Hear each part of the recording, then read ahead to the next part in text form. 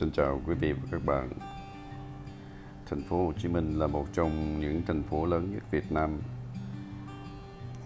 Hiện nay, thành phố Hồ Chí Minh có rất nhiều sự phát triển và thay da đổi thịt.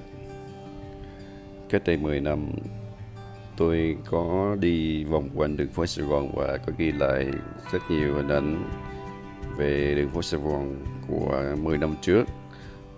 Và hôm nay đúng 10 năm, tôi xin một lần nữa ghi lại những hình ảnh đường phố Sài Gòn của năm 2019. Hiện tại chúng ta đang đi trên tuyến đường Hồng Lạc. Đây là con đường thuộc quận Tân Bình.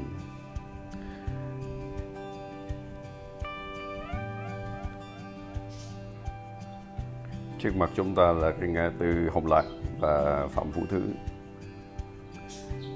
Hiện nay trên con đường Phạm Ngũ Tướng này là con đường nổi tiếng về bán vải tại thành phố Hồ Chí Minh. Ngày xưa vải thì ở chợ Tân Bình nhưng bây giờ người ta chuyển về khu vực này rất là đông.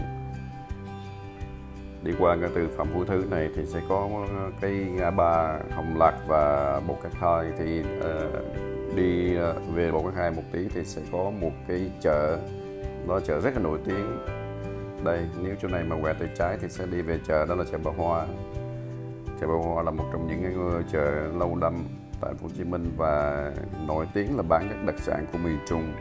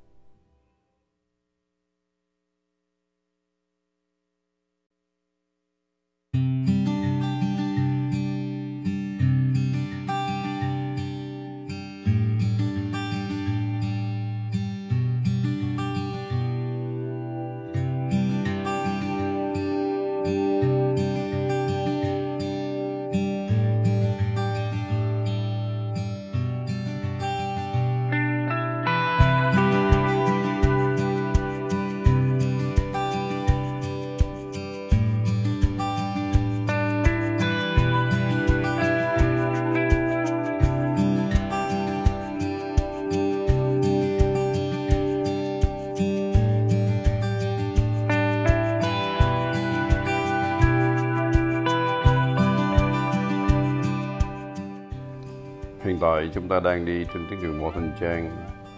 Tuyến đường này sẽ dẫn chúng ta ra tới ngã tư Bảy Hiện.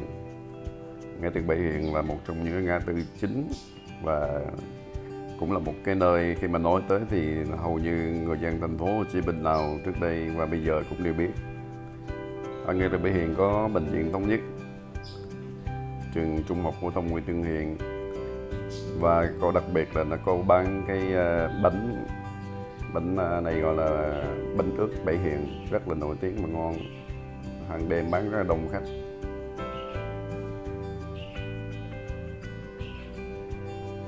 Trước mặt chúng ta là đường à, cách mạng tháng 8 bên tay phải trước mặt là ngã tư bảy hiền.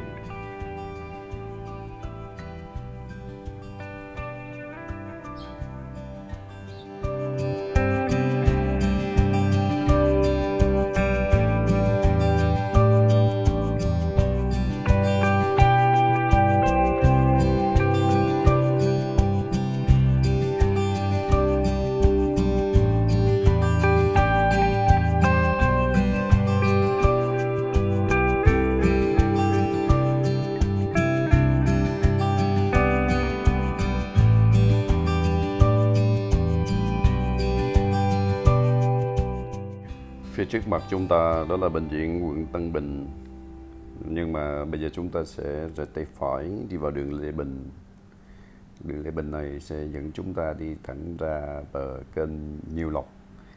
Bờ kênh Nhiêu Lộc ờ, của chúng ta đã được hoàn thiện và chỉnh trang sau cái ờ, hơn 20 năm xây dựng.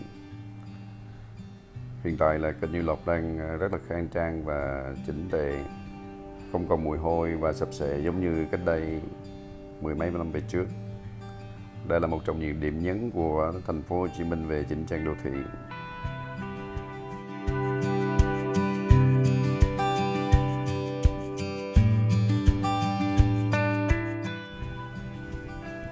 Hiện nay nếu các bạn chạy trên đường phố Hồ Chí Minh, thì sẽ bắt gặp rất nhiều cây, anh xe ôm mặc áo xanh lá cây mang cái chữ là Grab. Đây là một cái ứng dụng gọi xe mà thay thế cho các cái xe ôm truyền thống. Dịch vụ này đang rất là phổ biến tại thành phố Hồ Chí Minh và các cái thành phố lớn tại Việt Nam. Đây là đầu tuyến đường kênh Như Lộc bước vào dòng kênh này các bạn thấy cảm giác rất là sạch sẽ và trong xanh hai bên ờ, rất là nhiều cây xanh nước thì cũng đã sạch sẽ hơn, không còn nhiều rác, không còn mùi hôi. Hai bên tuyến đường thì rất là sờ muối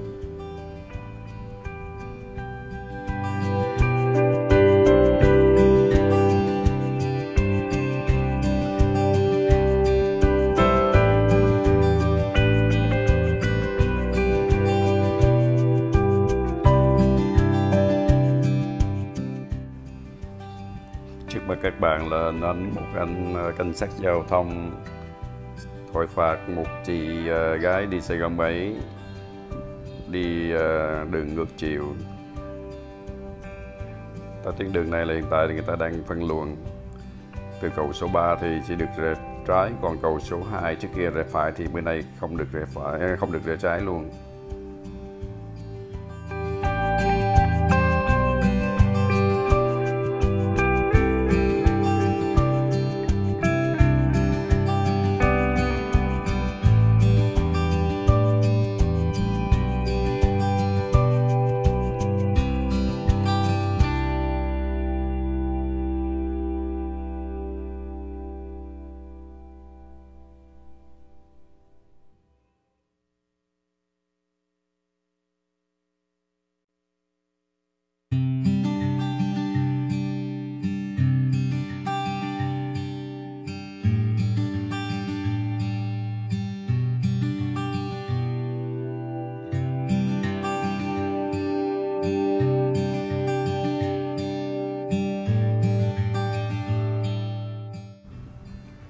Đây là đoạn đường đi qua cái xí nghiệp nhà đầu máy, xe lửa.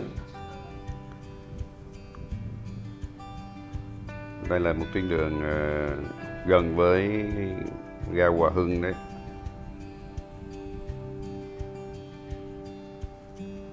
Đi lên một tí nữa thì chúng ta sẽ giáp danh với tuyến đường sắt, đi trừ trong ga đi ra ngoài. Nhìn hai bên dòng kênh và không cảnh ở ờ, xung quanh các bạn có thể thấy được rằng là dòng kênh này đã được chỉnh trang rất là nhiều. Và đây là một sự cố gắng của người dân thành phố Hồ Chí Minh cũng như là hai bên đường kênh này để nhằm bảo vệ cái dòng kênh này được sạch sẽ và khang trang. Rất mong là từ nay và trong tương lai thì ý thức bảo vệ môi trường cũng như là giữ dòng kênh này cũng như những địa danh khác, địa điểm khác tại thành phố Hồ Chí Minh sẽ được chú trọng.